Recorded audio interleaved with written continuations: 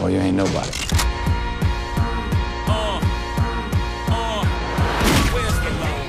There are two schools of thought in Hollywood right now involving who is the real drug kingpin in Harlem circa the 1970s Frank Lucas or Nicky Barnes. The two men's stories are both featured on celluloid. Lucas's side of the story is told through the eyes of director Ridley Scott in American Gangster, and Barnes's version of events is told by Mr. Untouchable himself, direct from the Witness Protection Program in the documentary from Damon Dash. Cuba Gooding Jr., who portrays Barnes in American Gangster, offers his opinion of their rivalry.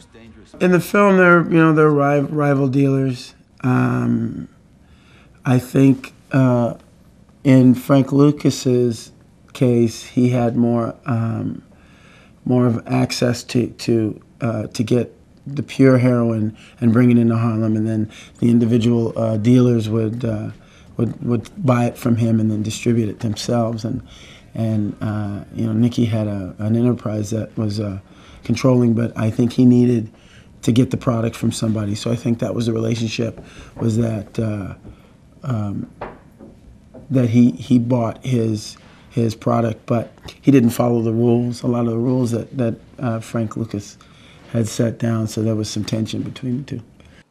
You can come to your own conclusion about what's fact and what's fiction by catching Mr. Untouchable, which is currently playing in theaters, and American Gangster, which opened November 2nd. The most important thing in business is honesty. Bribery, extortion, integrity, hard work.